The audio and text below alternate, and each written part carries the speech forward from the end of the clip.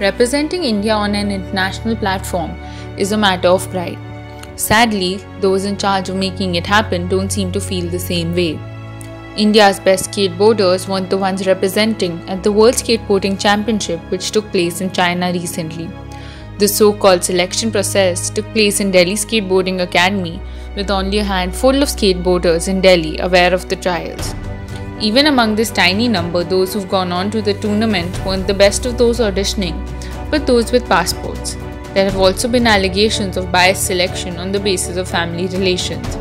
The Roller Skating Federation responsible for the selection process has not responded to emails asking for clarification.